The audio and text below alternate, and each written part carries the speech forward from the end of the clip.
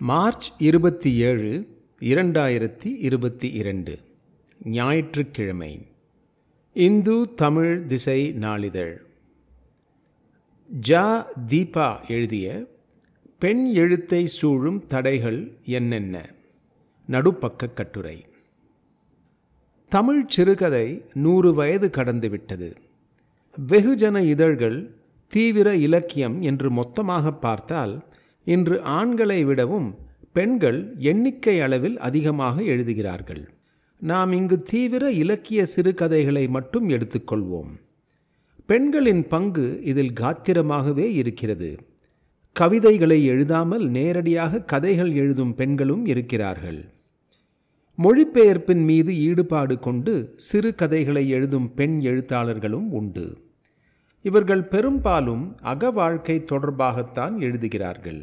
ஆனால் ஒட்டு மொத்தமாக வாசிக்கையில் தனித்த பார்வையற்று ஒரே மாதிரியான சமூக அவதானிப்பு கொண்ட படைப்புகளாக இருக்கின்றனவா என்பதை நிச்சயம் ஆய்வு செய்யத்தான் வேண்டும். பெண்கள் மிக தாமதமாகத்தான் கல்வி கற்கத் தொடங்கினார்கள். எழுத கற்றுக்கொண்ட பின்பு பெண்கள் யாருடைய உந்துதலும் இல்லாமல் எழுதியிருக்கிறார்கள் என்பது முக்கியம். ஐம்பது வருடங்களுக்கு முன்பு ஒரு பெண் தன் பெயரையும் அடையாளத்தையும் மறைத்து எழுத வேண்டியிருந்தது. தன் கணவருக்கும் புகுந்த வீட்டுக்கும் தெரியாமல் எழுத வேண்டிய சூழல்தான் இருந்தது. இதற்கு இடையே கதை எழுதுவது என்பது ஒருவித அச்சத்தை குடும்பத்தினரிடம் ஏற்படுத்தியிருந்தது. ஏனெனில் எழுதுதல் என்பது ஒரு வகையில் தன்னை வெளிக்காட்டிக் கொள்ளுதல்.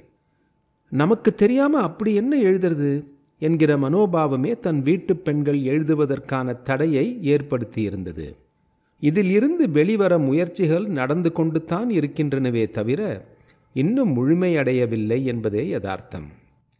தனித்த பார்வை என்பது தன்னை பாதித்த ஒன்றை ஒவ்வொரு எழுத்தாளரும் எப்படி கை கொள்கிறார்கள் என்பதை பொறுத்தது. அநேகமாக அத்தனை பெண் எழுத்தாளர்களும் குடும்ப அமைப்பில் பெண்களின் அடையாளம் தொலைந்து போவது குறித்து தொடர்ந்து எழுதி வருகிறார்கள். ஒட்டுமொத்தமாக பார்க்கும்போது குடும்ப அமைப்பு பற்றி மட்டுமே எழுதுகிறார்கள் என்கிற தோற்றம் ஏற்படும். எது ஒருவரை பாதிக்கிறதோ எது சார்ந்த அனுபவம் இருக்கிறதோ எது அவர்களை எழுத தூண்டுகிறதோ அதைத்தான் எழுத முடியும். உதாரணத்துக்கு கடலோடிகளை பற்றி எழுத வேண்டும் என்று ஒரு பெண் ஆசைப்படுகிறார் என்று வைத்துக்கொள்வோம். அதை வீட்டின் சமையல் அறையில் அமர்ந்து கொண்டு எழுதிவிட முடியாது இல்லையா? ஏர்னஸ்ட் ஹெமிங்வே போன்ற எழுத்தாளர்கள் மீனவர்களுடன் வாழ்ந்து அவர்களை பற்றி எழுதியது போன்ற அனுபவம் வேண்டும். இது பெண்களுக்கு வாய்க்கும் என்று நினைத்து பார்க்க முடியுமா? ஆக தன்னுடைய வட்டத்தில் தனக்கு பாதிப்பை ஏற்படுத்துவதைத்தான் பெண்கள் இங்கு எழுதுகிறார்கள். இது தனித்த பார்வையை தரவில்லை என்றால் பிரச்சனை எழுதுபவர்களிடம் இல்லை. பணிக்காக வெவ்வேறு தளங்களில் பயணப்படும் பெண்களின் கதைகளில் வெவ்வேறு தளங்களை நாம் வாசிக்க முடியும். இதற்கு காரணம் அவர்களின் அனுபவம் பறந்து விரிகிறது. அது எழுத்தில் தெரிகிறது. வரலாறு பற்றியும் தொல்குடிகள் குறித்தும் காவல்துறையால் வன்புணர்வுக்கு உட்படுத்தப்பட்ட பெண்கள் பற்றியும் குழந்தை தொழிலாளர்கள் சார்ந்தும் பெண்கள் எழுதுகிறார்கள். இது எப்படி தனித்த பார்வையற்றதாக இருக்கும்? பெண்கள் முன்பு போல் இல்லை. எல்லா தடைகளையும் தாண்டுகிறார்கள் என்பது மேலோட்டமான கருத்து. குருபீடம் என்று ஒரு கதை எழுதினேன். சிறு வயதில் பாலியல் தாக்குதலுக்கு உட்படுத்தப்பட்ட ஒரு பெண்ணின் கதை. சிலர் என்னிடம் நேரடியாகவே இது உங்களுக்கு நிகழ்ந்ததா? என்று எந்த தயக்கமும் இல்லாமல் கேட்டிருக்கிறார்கள். சக பெண் எழுத்தாளர் ஒருவர் கணவனுக்கும் மனைவிக்குமான ஒரு பிரச்சனை குறித்து கதை எழுதியிருக்கிறார். அவரிடம் உங்களுக்கும் உங்கள் கணவருக்கும் ஏதேனும் பிரச்சனையா? என்று நண்பர்களே விசாரித்ததாக சொன்னார். இது மாபெரும் சிக்கல். ஒரு பெண் தன்னிலை தொனியில் ஒரு கதையை எழுதுவதற்கே பெரும் தயக்கம் கொள்ள வேண்டியிருக்கிறது. எழுத நினைப்பதையெல்லாம் பெண்கள் எழுத முடிவதில்லை என்பதே யதார்த்தம். கவிதைகளில் பெண்கள் பாலியல் சார்ந்து எழுதியதற்கு தொடக்கத்தில் வந்த எதிர்ப்புகளை நாம் அறிவோம்.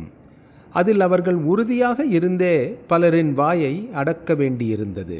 இவையெல்லாம் ஐயகோ நாங்கள் இத்தனை நெருக்கடிகளுக்குள் எழுதுகிறோம் என்கிற சுய விளக்கமோ கழிவிறக்கமோ அல்ல யதார்த்தம். தன்னை கடந்து ஒரு பெண் எதையும் எழுதும்போது பாராட்டுகள் கிடைக்கலாம். ஆனால் அதற்கு பின் வாழ்க்கை கேள்விக்குறியாகும் வாய்ப்புகளும் உண்டு. ஆனாலும் எழுதுகிறார்கள் என்பதே முக்கியம்.